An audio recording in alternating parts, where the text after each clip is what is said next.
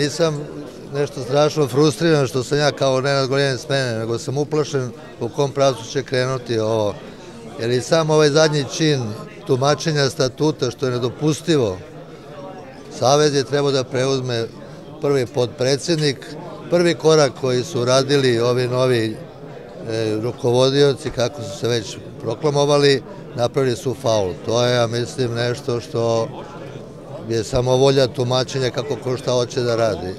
Ja nigde nisam pogrešio, još jednom, to je moja izjava za javnost i dalje ću ja biti čovek odbojke i to je moja ljubav, ja volim to, stojim na raspolaganju, nema mržnje, nema osvete, nikome ne zameram, svako ima pravo i na svoje slabosti i na svoje kriterijume, vrednovanja i tako da. Ide život.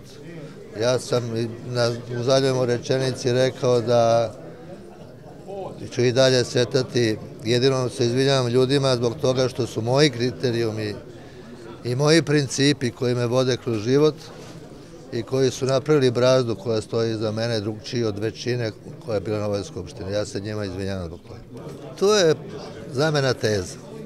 Kad neko hoće da zlopotrebljava nešto, onda to kreće ovako, a kad neko hoće se bavi pragmatizmom i opasnošću da će nas uvedu u sankcije, da će nam zabraniti da se ovaj, bavimo sportom i da se možemo takmićemo, a program je mnogo veliki, onda će svi da kažu to je stav vlade. A kad onda okrenete populistički da gledate, onda to nije stav vlade.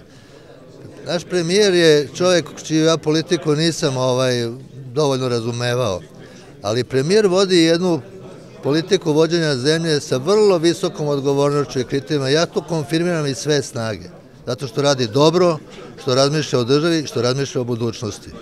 Nije naše da tumačimo prošlost, niti smo mi odgovorni za prošlost. Mi smo odgovorni za sadašnjost i za budućnost. Sve što se radio, radio smo u tom pravcu. Prema tome, samo ovi koji gledaju kratke staze, oni vjerojatno ovako razmišljaju. Žao mi je što sam u manjini, što nemam ove savremenika koji ovako razmišljaju, jer ja sam zadnji koji nešto želi od odbojici nažao, sigurno. Hvala vam.